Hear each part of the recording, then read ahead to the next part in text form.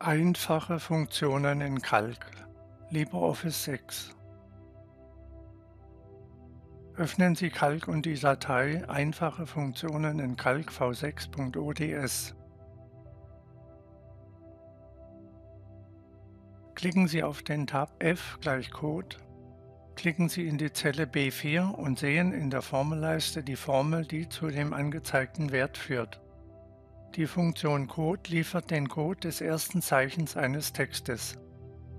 In diesem Beispiel ist das erste Zeichen aus Zelle C4 ein M von Martha. Unten wählen Sie den Tab F gleich Römisch und Arabisch. Die Funktion Römisch wandelt eine Zahl in eine römische Zahl um. Dies ist in den Zellen B4 und C4 der Fall. Die Funktion Arabisch berechnet den Wert einer römischen Zahl. Dies sehen Sie in den Zellen B6 und C6. Klicken Sie auf den Tab F gleich Datumwert und in die Zelle B4. Die Funktion bestimmt aus einem Text in einem möglichen Datumsformat eine interne Zahl.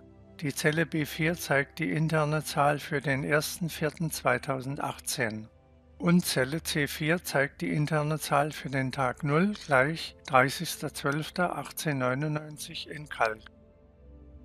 Klicken Sie auf den Tab F gleich ist leer und in die Zelle B4.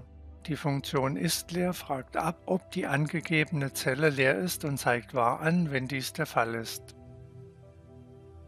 Klicken Sie auf den Tab F gleich ist Formel und in die Zelle B4. Die Funktion ist-Formel fragt ab, ob die angegebene Zelle eine Formelzelle ist und zeigt wahr an, wenn dies der Fall ist. In diesem Beispiel ist die Zelle C4 eine Formelzelle bzw. eine Zelle, die eine Formel enthält. Klicken Sie auf den Tab F gleich Jetzt und in die Zelle B4. Die Funktion Jetzt zeigt die aktuelle Zeit des Computers an. Mit F9 wird die Zeit in der Zelle aktualisiert. Voraussetzung ist, dass die Computerzeit die richtige Zeitzone hat. Bei modernen Computern wird normalerweise die Zeit über das Internet eingestellt.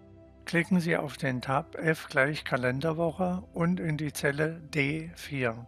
Die Funktion Kalenderwoche zeigt die Kalenderwoche für ein vorgegebenes Datum an. In dem Beispiel wird in D4 gleich 13 angezeigt für den 1.4.2018. Klicken Sie auf den Tab Funktion einfügen. In die Zelle C4 schreiben Sie Anna. Eine Funktion fügen Sie ein, indem Sie in der Rechenleiste den Funktionsassistenten fx anklicken. Es öffnet sich der Dialog Funktionsassistent und im Tab Funktionen können Sie bei Funktion eine Funktion auswählen. Wählen Sie die Funktion Groß aus mit Doppelklick auf Groß. Im Feld Text geben Sie C4 ein und OK.